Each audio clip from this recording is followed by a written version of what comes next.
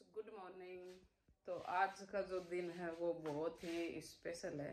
इसीलिए मैं बहुत लंबे टाइम के बाद में आप लोगों से बात कर रही हूँ। तो आज है लक्ष्य क्या है आज?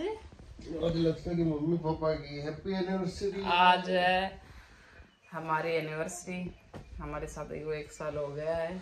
और एक साल के सारे मोमेंट हमने आपके साथ बहुत सारे मोमेंट शेयर किए हैं। लाइफ के अंदर बहुत सारा चेंजमेंट हुआ है और हर छोटे से छोटी बड़ी से बड़ी जैसी भी सिचुएशन हुई है मैंने हमने आप लोगों के साथ शेयर एक साल का रिज़ल्ट भी देखो।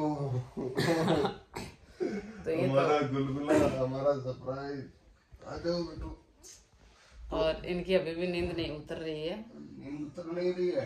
हम तो जगे हुए हैं जल्दी उठ जाते हैं लेकिन क्या करें? फिर थोड़ा सा हमें है ना थोड़ा सा उठने में टाइम लगता है। और ये सुबह सुबह का जो टाइम होता है ना वो टाइम तो बहुत ही होता है उठने तो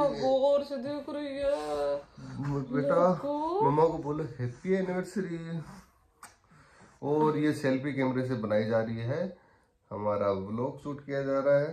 और आज का डे हमारी लाइफ का सबसे इम्पोर्टेंट डे है। तो आप सबका प्यार हमें यूँ ही मिलता रहे और हम लाइफ के अंदर बहुत सारी तरक्की करें आप भी बहुत सारी तरक्की करो। एक दिन हम दस साल हो जाए दस साल वाली एनिवर्सरी मनाएँगे। बस एनिवर्सरी बनाएँगे और आपके साथ यूँ ही हमारे लाइफ के मोमेंट शेयर करेंगे।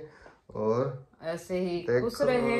देखो देखो देखो happy happy happy happy anniversary मम्मा ये मतलब कैमरे को देखने लगी है। हाँ।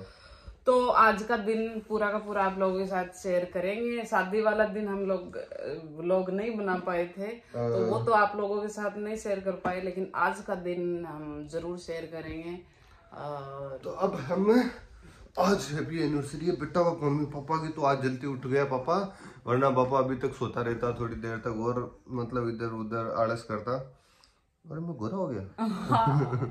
दो मैं भी गोरी हो गई मैंने बहुत टाइम के बाद में चाय कॉफ़ी भी नहीं पी लोगों से बात किए तो मतलब थोड़ी इनसे आगे आगे कैमरे को देखा। नहीं तो मेरे को पीछे ही लेते हम्म। तो जुड़े रहिए आज के डे को। आपके साथ सेलिब्रेशन करेंगे। अरे मेरा बंदर तो आया नहीं। हाँ सेलिब्रेशन करेंगे। ये जब कैमरे में नहीं आती है तो मेरा जी दुखता है भाई। सबसे बड़ी बात तो ये है। तो इसको कैमरे में ले लिया करो बच्चे को। ओहो हो हो। मेरे गुलगुले को हो गया शादी को। और एक साल के बाद आज हमें पकड़ी खिला रहे हो। कितनी बार खिला दी साल के अंदर? साल के अंदर कितनी बार बड़ा कितनी बार बुला ली? आप ही बताओ। मतलब? पाँच से। सात आठ सौ तो आज हमारी शादी की एक साल कंप्लीट हो चुकी है। आज के दिन हमारी शादी हुई थी। और तो इस आज इस टाइम पे हो मतलब इस टाइम पे बारात लेके मैं पहुँच गया था चिड़ावा। और बस मेरे ससुराल मतलब एंट्री करने वाले थे इस टाइम पे। और आज वही हो एक साल बाद वहाँ और कुछ ही तैयार हो रहे थे पार्लर पार्लर। में तैयार हो रही पार्लर में। और आज एक साल के बाद पूरा मतलब देखो बहुत सारा चेंजमेंट लाइफ के अंदर हुआ है। खुशी बुला रही है पकौड़ी और मतलब लाइफ के अंदर ऐसे ही मतलब छोटे छोटे हम इवेंट करते रहेंगे और हर साल जितना हमसे हो पाएगा उतना हम मैरिज एनिवर्सरी का छोटा छोटा प्रोग्राम करते रहेंगे, खुशियाँ इंजॉय करते रहेंगे। तो ज़रूरी नहीं है कि आप बड़ा सेलिब्रेशन करो। अंदर से खुशी मिलनी चाहिए बस।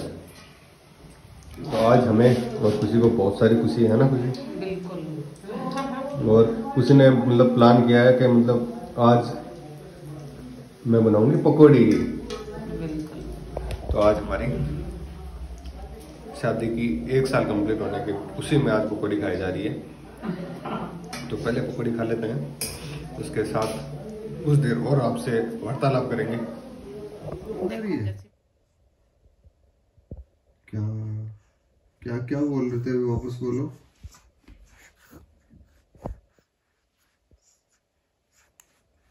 मतलब इसको सोना भी है और मस्ती भी करनी है। दोनों चीज़ें एक साथ करनी है ना? दो दो चीज़ें एक साथ कैसे होगी बेटा? सो जाओ सो जाओ चलो सो जाओ good night good night good night good night good night चल रही है सर्दियाँ तो सर्दियों के अंदर बच्चे को मतलब डायपर पहनाना तो सबसे ज़रूरी इम्पोर्टेंट होता है, क्योंकि जो बेबी होता है वो सर्दी के अंदर मतलब बार बार टॉयलेट करता है टॉयलेट की वजह से बीमार ना हो जाए। और आज का डे पूरे दिन भर में तो बहुत ज़्यादा था बिज़ी और कुछ ही पूरे दिन भर मेरे को पता है मेरा वेट कर रहे थे कहीं ना कहीं हम घूमने जाएँगे लेकिन नहीं हो पाया क्योंकि मेरे को काम के अंदर बिज़ी रहना पड़ा क्योंकि तो आपके ऊपर ये उधार ही है ये दिन। तो आज का ये जो डे है उधार है और मैं एक्सेप्ट करता हूँ। ये आज का जो डे मेरे को सामने सबके सामने बोल रहे हैं एक दिन उधार है।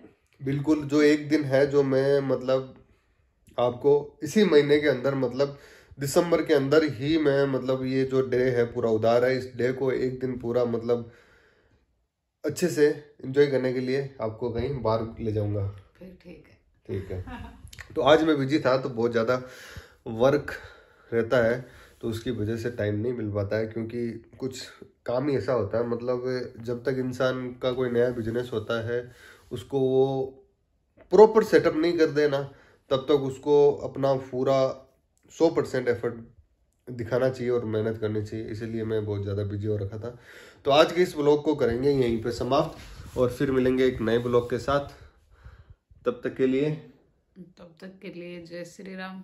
जय श्री राम। जय हिंद।